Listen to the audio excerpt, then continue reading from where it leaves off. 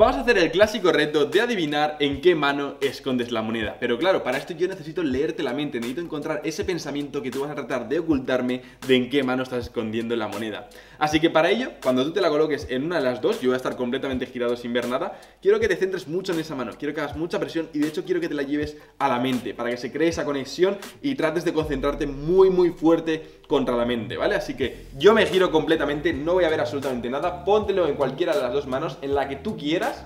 ¿La tienes? Sí. Vale, perfecto. Entonces ahora quiero que esa mano la pongas contra tu frente, te centres, presiones muy bien contra la, la frente, que se cree ese pensamiento, esa esencia que yo, a tratar, que yo, voy a tratar de adivinar. ¿Lo creo tienes? que ¿Lo tienes? Vale, pues coloca las dos manos, extiéndelas, que yo no pueda saber en qué mano está, y voy a tratar de adivinarlo. La moneda está en esta mano. Mira, a ver. ¿Pero por qué lo sabes? ¿Queréis saber cómo se hace? Pues quedaos en este vídeo. Bienvenidos a magicardistry.com Mi nombre es Julio Rivera y os traigo un tutorial express para que en menos de un minuto aprendáis cómo adivinar en qué mano tiene el espectador la moneda. Pero antes de nada, como siempre, el sorteo. En este vídeo voy a sortear unas Phoenix y lo único que tenéis que haceros para ganaros esta baraja profesional de magia es estar suscrito a mi canal, darle a muestra este vídeo y comentar cualquier cosa. Este es el ganador del anterior sorteo y ahora sí vamos a ver cómo funciona este truco, que más que un truco yo lo suelo presentar como un experimento por si no sale del todo bien porque no funciona el 100% de las veces. Funciona muchísimo mejor cuando la gente tiene una piel clara. Cuando tiene una piel oscura es más complicado. Entonces, ¿cómo funciona? Básicamente necesitáis una moneda grande, una moneda grande y el espectador se la va a colocar en la mano. Entonces le vamos a pedir al espectador que apriete bien esa moneda y que se ponga la mano contra la frente y que también presione un poco contra la, contra la frente. No se lo vamos a decir tampoco tan directo, pero le vamos a decir que se concentre, que haga mucha presión, que se concentre en la moneda, que presione contra la frente y entonces de esta forma lo que conseguimos es que al presionar la mano y ponerla contra la frente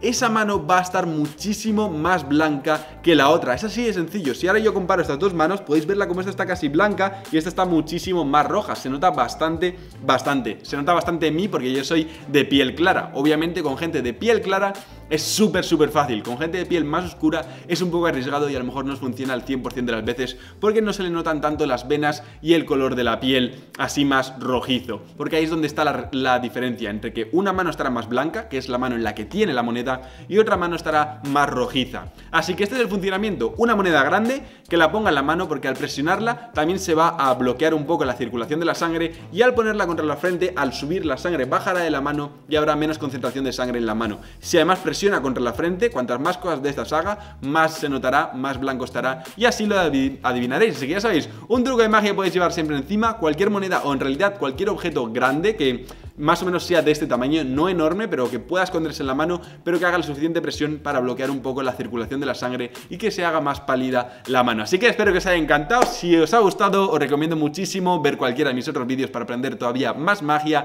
ir a mi canal principal de J. Magia, que os dejaré el link en las tarjetas y en la descripción para seguir aprendiendo todavía más y más magia. Recordad, aquí en Magic District subo vídeos todos los martes y todos los viernes subo en el canal principal de J. Magia. Así que dicho esto, nos vemos el martes que viene con más y mejor. Chao, chao.